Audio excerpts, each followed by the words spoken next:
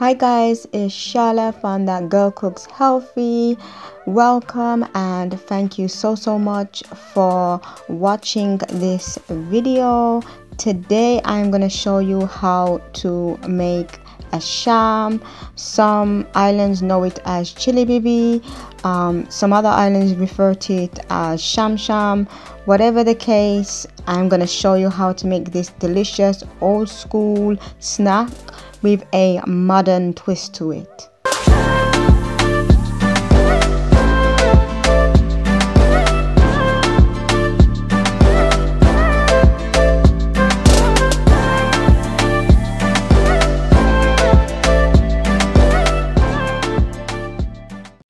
So these are the ingredients that I'm using to make my asham.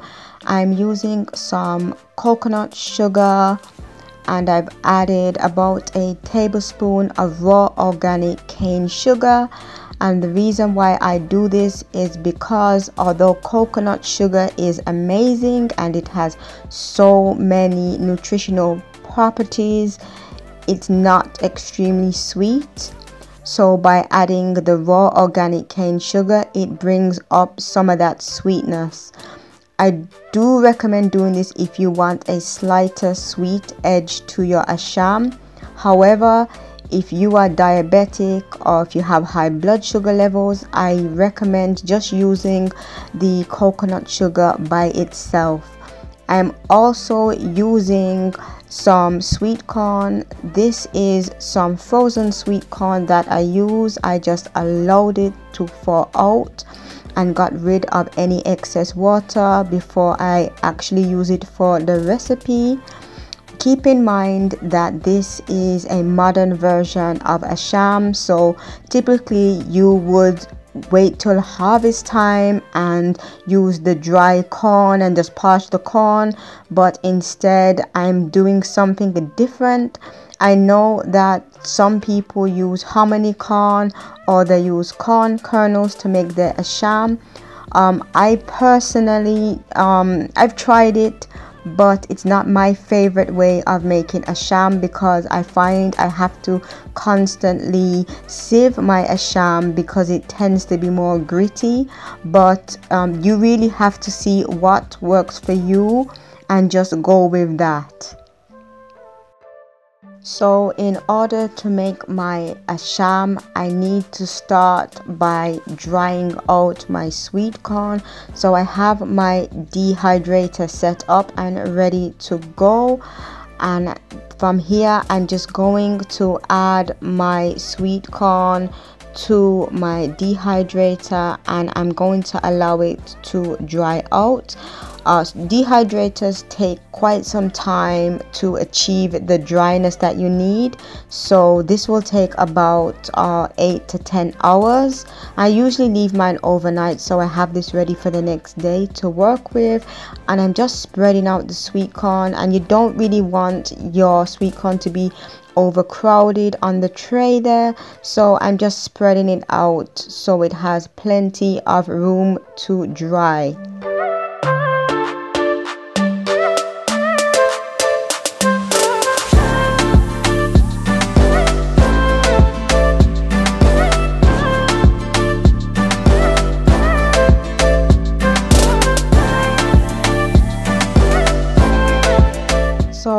now that the sweet corn has been spread out i'm just going to put the lid on my dehydrator and allow it to dry for about 8 to 10 hours.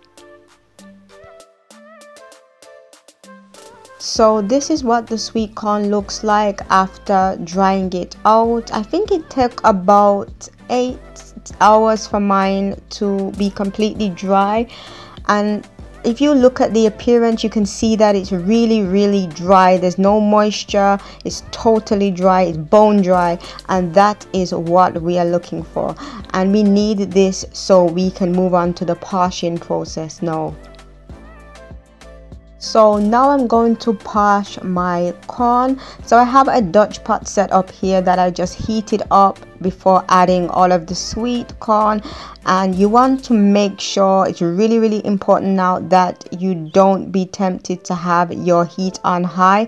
I have it on medium there and i'm just going to continue to stir my sweet corn until it starts to parch. It's going to take a few minutes for this process to begin so be patient. As i said do not do not i cannot emphasize do not turn the heat up high or you're going to get burnt sweet corn and you're not going to be very happy with the results because nobody wants burnt asham so just allow this to ride through and allow it to be completely golden.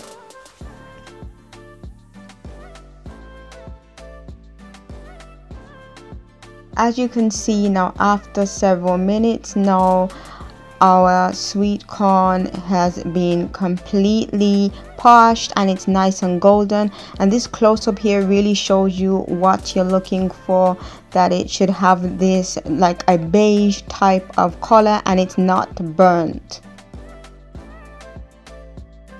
So before you grind your sweet corn you want to make sure it's completely cool before moving on to that step I'm using my spice grinder and I'm doing this in batches but you know you can use a food processor. I know some people use a mortar and pestle. That is actually the old school way of doing it.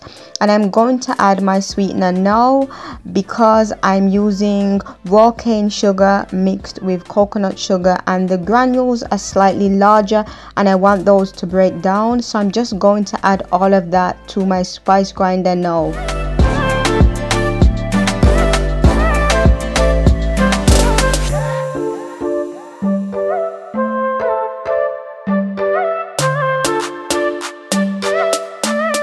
so this is what your asham should look like. It's nice and powdery and I don't even need to sieve it because my grinder is really really good and I'm going to repeat this with the rest of the sweet corn and just grind all of it down.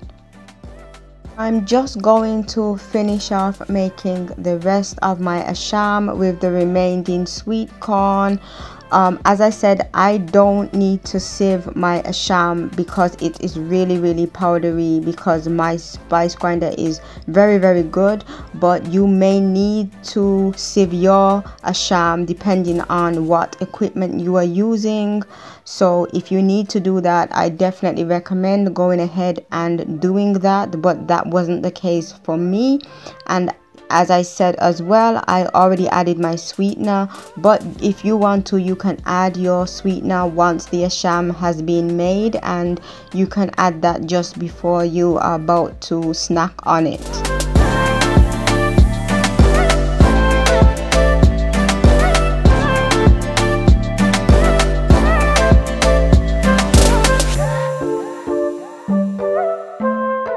so this is what your asham should look like nice and powdery ready to be eaten um, this is like the jewel of the Caribbean. It's a forgotten snack, or at least to me, it feels like it. I've never seen it outside of the Caribbean being sold, so this is great for anybody who wants a taste of home and they can make it at home.